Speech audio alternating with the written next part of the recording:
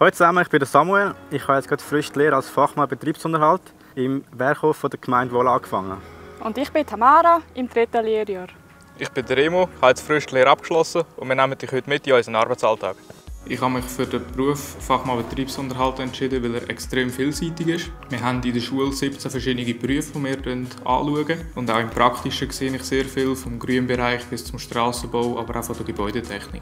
Ich habe mich entschieden, weil er sehr abwechslungsreich ist. Man ist auch praktisch immer draußen und ich tue gerne handwerklich anpacken.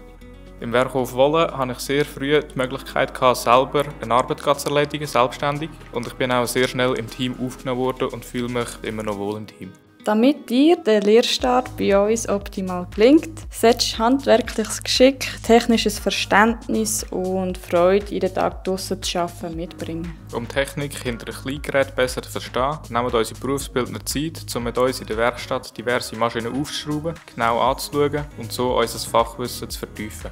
Ich hatte die außerordentliche Möglichkeit, im Werk auf Wolle zu bleiben. Wir bleiben jetzt die Türen offen als Vorarbeiter. Ich habe auch die Möglichkeit, noch Tageskurs zu machen oder Wochenkurs wie Staplerkurs, Baumschneidkurs, Baumpflegekurs und den Berufsbildner. Wenn dir der Einblick aus dem Werk auf Zwolle gefallen hat, dann bewirb dich jetzt als Fachmann, Fachfrau Betriebsunterhalt. Wir freuen uns auf euch.